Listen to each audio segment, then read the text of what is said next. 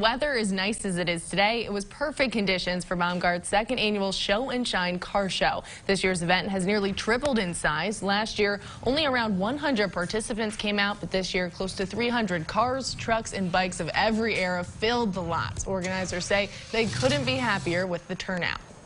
Finding space to fit everybody in has been the challenge this year, that's for sure.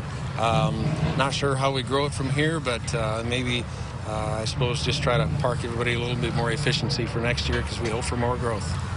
And they're sure going to make more room for next year.